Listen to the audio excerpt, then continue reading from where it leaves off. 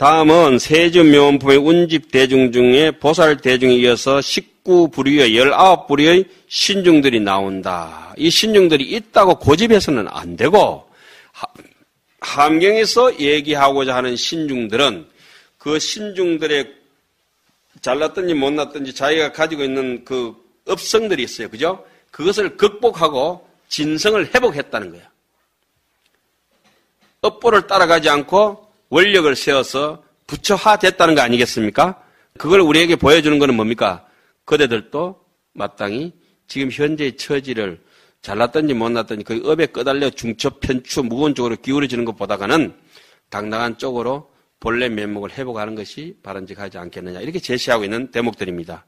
다양한 뭐 이 신중들은 지금도 다양하다 이렇게 봐야 되죠. 그리고 이 신중은 법성계도 법성원령 무이상 제법부동 본래적 무명무상 절일체 정지소지 비역행 이 네 가지가 모든 법성계를 다 얘기하고 있는 겁니다.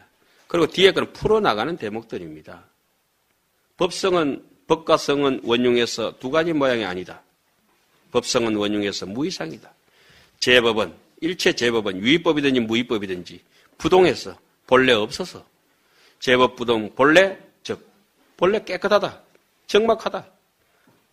예. 적정이라고 했을 때 적이라고 하는 것은 고요하다고 하는 건 한문적으로 풀면 내 스스로 고요해져 꺼져버렸다. 정이라고 하는 건 상대가 아무리 나를 흔들더라도 움직이지 않는다. 동정하는 거 있잖아요. 그죠? 그게 흔들림이 없대. 적정. 체극 적정이라 하잖아요. 그죠? 안에 내 마음이 그냥 고요한 상태가 적이라 하면은 바깥에 외부의 침입으로부터도 아무리 이렇게 비바람이 몰아쳐도 고요한 유지가 정이거든, 정. 왜 정중동물이 얘기하잖아요. 왜 그게? 예? 그렇게 봐야 돼요. 음. 그게 이제 법성기 제법부동 본래 즉 무명무상 절일체 이름도 명상이 다 끊어져 버렸다. 절일체 이 마음을 무두무미라 어, 하늘을 받들이고 땅을 받들이고 검기는 칠보다 더 끊고 그 밝기는 태양보다 더 밝은 이것이 무엇이냐 이렇게 얘기하잖아요. 아까 저 위에 중림을 올라가니까 낮인데 불 꺼라. 어, 진짜 맞는 말씀이거든. 방에 불 켜는 낮인데 불 켜. 불을 왜 켜놨나? 불 꺼라는 거야. 낮에 왜 불 켰냐고. 태양이 확 떠버리고 나면은 온 지구상에 등을 천 개 달든지 만 개 달든지 그 불이 소용이 없어요. 환하잖아.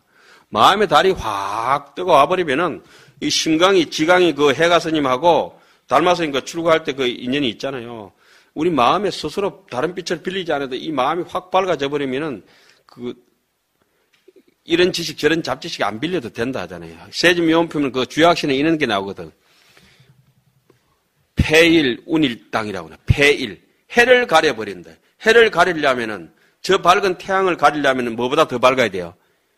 태양보다 더 밝아 버리면 햇빛이 무색해져 버려요. 이 불, 이, 저, 가르등 불빛이, 가르등 불빛보다 뭐가 더 밝아요? 태양보다 더 밝, 태양이 더 밝으니까 가르등 불빛이 빛을 잃어버리잖아요. 그, 내 마음의 빛이 저 태양보다 예를 들어서 더 밝다 그러면 어떻게 되는 거예요? 태양은 아무 소용 없잖아요. 그런 얘기를 여기에 제목이 하도 좋아가지고 우리 어른 스님한테, 스님, 이거 폐일땅이래. 이렇게 써놨다고요. 빛이 빛을 가려버리고. 예. 이 우리 번뇌가 이게 먼지가 허공 속에 숨어버리고 능경에 나오잖아요, 그죠? 이너진이라고 해. 먼지가 이런 데 숨는 거, 이게 구직에 숨는 건 아무것도 아닌데 어디에? 허공에 숨어버리고 그걸 잡아낸다 이거지. 그리고 빛을 빛을 갈아버리고 한 것은 부처님도 안 부럽다는 이런 거 아니겠습니까? 살불살주 하듯이 내 자신이 당당한데 내가 왜 자꾸 기대기는 하지만 나는 그쪽에 안 팔려 댕긴다 이거지. 품팔이 할 사람이 아니잖아요. 조금 뭐 이렇게 좀 흥분해서 미안합니다. 그래도 이 직건강신, 신중신하고 그다음에 또 뭐죠? 족행신중, 도량신 요 네 분은 그 법성계의 앞곡지에 나오는 것처럼 무명무상 절일체 정지소지 비해경 부처님이라야 알지 나머지 경계는 모른다 하는 대목이 있죠. 여기서 마음의 심성에 대해서 법성에 대해서 얘기는 다 끝났어요. 그 뒤에부터는 불소자성 수연성 하는 대목이 있잖아요. 거기서부터 사사 풀어나가는 거예요. 영가 정도가도 제일 앞구절, 아까 하던 뭐죠? 절악무의 한도에는 다 끝나버린 부처님은 부재망상 불구진이라.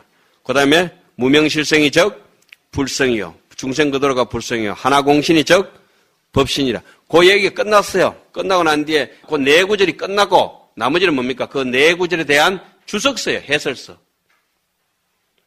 그 하원경도 이 앞에서 뭐 보현보살 해월 대강령 이어서 땡 이러면 끝난 사람도 있고 못 끝난 사람은 이제 직건강신 보다 집에 갔다가 논에 갔다 막 이렇게 살아야 되는 거예요. 음.